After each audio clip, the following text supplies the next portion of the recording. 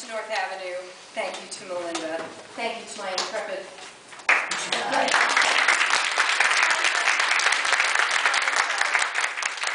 Thank you all for being here. Uh, A good send-off, the prayer of St. Francis, uh, which is something that we can hold in our hearts always, I think, no matter what our creed.